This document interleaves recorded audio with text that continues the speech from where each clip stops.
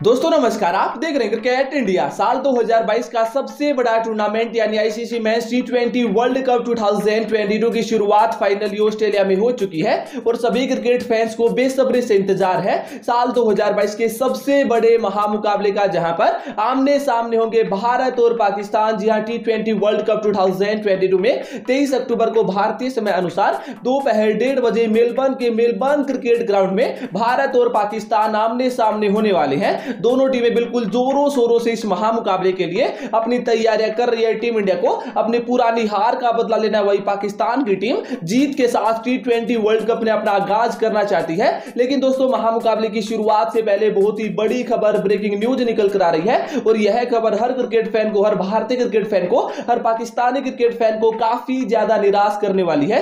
क्योंकि यह खबर निकल कर आ रही है वेदर डिपार्टमेंट की तरफ़ से, जहाँ पर अगले तीन दिनों की मेलबर्न की latest weather forecast starting detail को रिवील किया गया है जहाँ पर भाई, इस महामुकाबले के ऊपर में बारिश के बादल मंडराते हुए नज़र आने वाले हैं। मैच को यहाँ पर कैंसिल भी किया जा सकता है क्योंकि जो वेदर फोरकास्टिंग डिटेल्स है वो कहीं ना कहीं हम सभी क्रिकेट फैंस को काफ़ी ज़्यादा निराश करने वाली है। जी हाँ अगले तीन दिन, जी हाँ इक्कीस अक्टूबर, बाईस अक्टूबर, तेईस अक्टूबर, तीनों दिन मेलबर्न के मेलबर्न क्रिकेट ग्राउंड के ऊपर हमें बारिश के बादल मंडराते हुए नज़र आने वाले हैं। और जिस वक्त पर तेईस अक्टूबर को भारतीय समय अनुसार दोपहर डेढ़ बजे महामुकाबला शुरू होगा, उस वक्त पर बारिश के 80 परसेंट चांसेस बताए जा रहे हैं जिससे भाई, यह तो बिल्कुल कन्फर्म है कि महामुकाबले में बारिश एक बहुत ही बड़ी बाधा बनकर सामने आने वाली है मैच को इंटरप्ट करने वाली है। लेकिन दोस्तों, एक छोटी सी खुशखबरी वो ये कि भाई, लगभग भारतीय समय अनुसार लगभग साढ़े तीन बजे के आसपास, वहाँ पर जो बारिश के चांसेस थोड़े से कम हो जाएँगे फिफ्टी चांसेस बताए जा रहे हैं। तो हम यहाँ पर ऐसी उम्मीद कर सकते हैं भाई, कुछ ओवर्स का महामुकाबला हमें वहाँ पर ज़रूर देखने को मिले। लेकिन दोस्तों, फ़िलहाल बहुत ही बुरी खबर है, बारिश के यहाँ पर काफ़ी ज़्यादा चांसेस बताए जा रहे